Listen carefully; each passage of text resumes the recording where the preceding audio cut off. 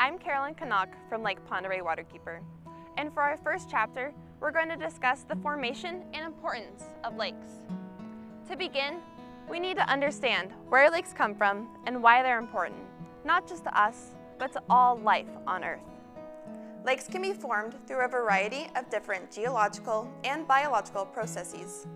These include glaciers, volcanoes, landslides, the movement of tectonic plates, human-made dams, beaver dams, and more.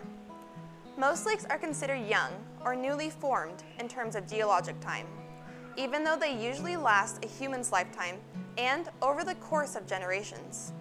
However, lakes also age. Once they're formed, they start to fill in due to rivers and streams bringing in sediment and other debris, and eventually completely fill in and become a whole new environment. There are many variables that determine how long a lake is around, such as size, the surrounding habitat, how it was formed, and human influence. Maintaining healthy lakes is important to sustaining life on Earth. A wide variety of diverse organisms live in and around lake ecosystems all across the planet. Freshwater lakes provide clean drinking water, not only for animals, but for us, too. All living organisms need water to survive. Around the world, many communities use surface water, such as lakes, streams, and rivers, to provide clean drinking water. For example, here in Sandpoint, Idaho, our drinking water comes from Lake Oreille and Little Sand Creek, which drains from the Selkirk Mountains north of town.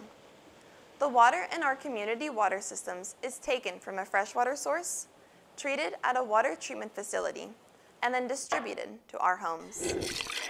After we use it and flush it down the pipes, the water then flows to a wastewater treatment facility, is treated again, and then is often pumped back out to a nearby water body.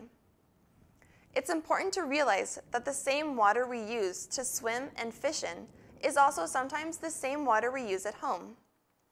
This is just one reason why we need to work to protect our freshwater sources from pollution and misuse. In addition, all of our lakes belong to a watershed. A watershed is an area of land that drains to a specific body of water, such as a river, stream, or lake. A watershed includes everything within its borders, the water, the land, the air, the plants, the critters, and the people. The world is made up of hundreds of different watersheds, and many smaller watersheds can make up a larger watershed.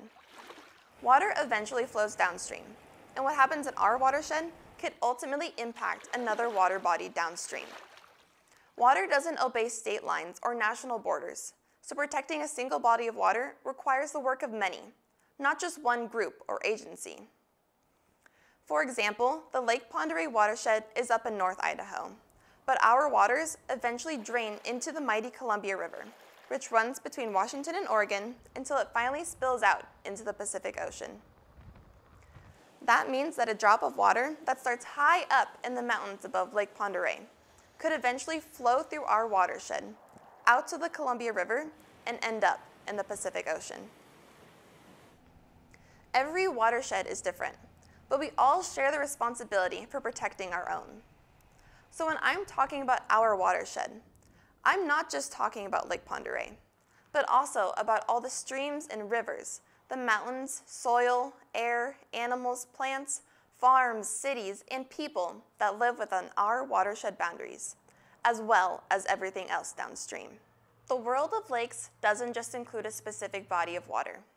When I'm talking about a lake ecosystem, I'm talking about the lake's entire watershed, the surrounding area, and all of the creatures that depend on the lake for valuable resources.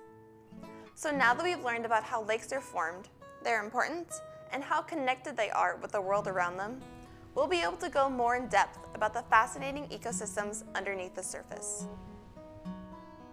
Thanks for watching, and I look forward to seeing you in our next chapter about the science of water in lakes.